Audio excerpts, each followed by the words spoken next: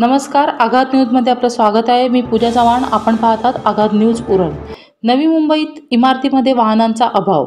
नवी मुंबई परिसरामध्ये भूमाफियांनी कोरोना संसर्गाचा फायदा घेत अनधिकृत इमारती वेगाने बांधल्या जात आहेत. हे बांधकाम करत असताना इमारतीच्या तळमजल्यावर मात्र वाहनांची व्यवस्था करत नाही. त्याचे पडसाद येथील रहिवाशांना उमटत आहेत.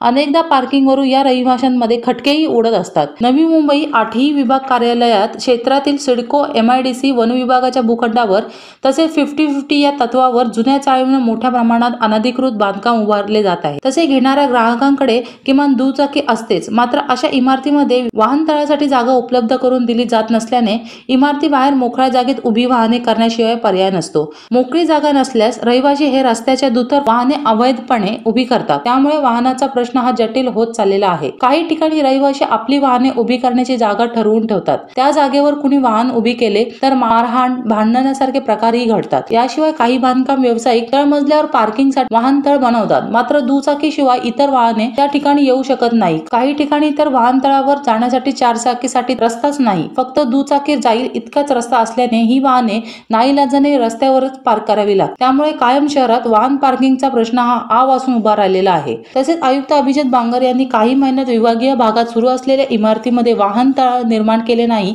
तर भोगावटा प्रमाणपत्र दिले जाणार नाही अशा प्रकारचाही इशारा दिला होता. शहराचा विकास करत असताना सिडकोने भविष्यातील वाढत्या वाहनांचा विचार न केल्याने आज नवी मुंबई वाहन पार्किंगची समस्या समस्या सर्व स्तरावर किचकट झालेली आहे. अधिकृत इमारतींना वाहनतळ असेल तर ते फक्त दुचाकीसाठीच मर्यादित असते. त्यामुळे चारचाकी मालकांना वाहने आपली ही रस्त्यावर पार्किंग करावी लागत आहेत. त्यामुळे नवी मुंबई वाहन पार्किंगची समस्या ही दिवसेंदिवस वाढत चाललेली आहे.